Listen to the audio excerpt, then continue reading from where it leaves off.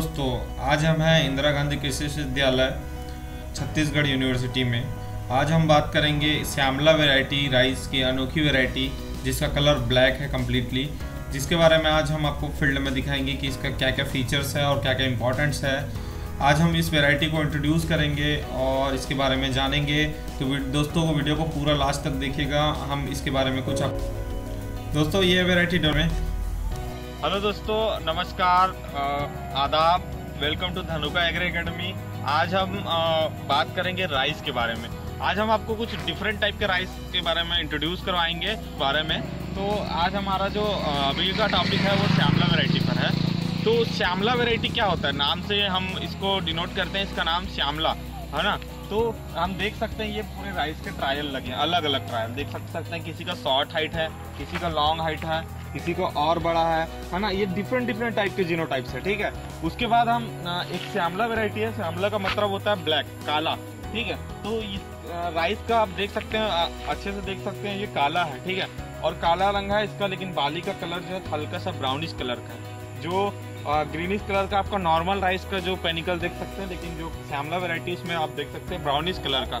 तो ये एक आई जी के ने डेवलप की एक खास वेराइटी है जिसका जो प्रोसेस है वो कहीं बाहर से आया था उनको आ, इन्होंने एवोल्यूट किया और उसके बाद इस वेराइटी को डेवलप किया है। तो हम थोड़ा और नज़दीक से देखेंगे इसकी जो स्पेसिफिक फीचर्स हैं राइस के बारे में। तो उसको हम आपको थोड़ा नज़दीक से बताते हैं।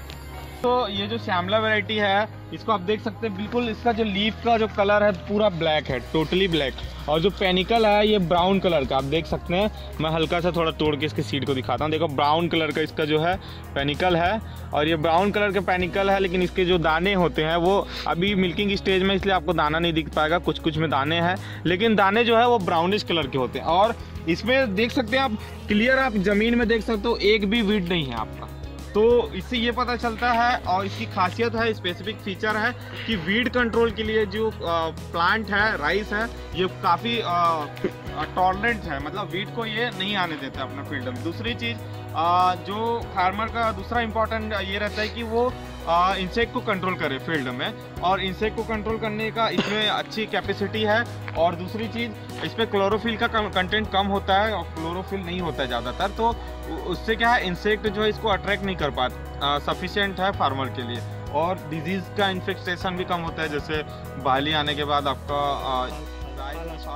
आते हैं या फिर बहुत सारे ब्लाइट्स वगैरह डिज़ीज़ आते हैं जलने वाली ब्लास्ट वाली, वो डिज़ीज़ में कम आती है। और भी पॉपुलर नहीं हुई, छत्तीसगढ़ में वेराइटी अभी डेवलप हुई है तो इसको थोड़ा मार्केट में आने के लिए टाइम लगेगा दोस्तों इसके सीड को।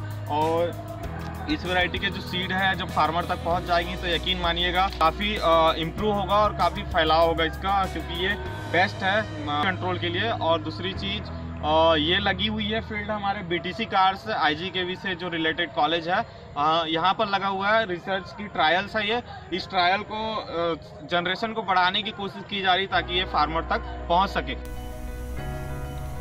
दोस्तों श्यामला राइस जिसका ड्यूरेशन है 130 से 140 डे मेच्योरिटी 30 टू 40 क्विंटल पर hectare yield and weed control efficiency medicinal value of for human के लिए।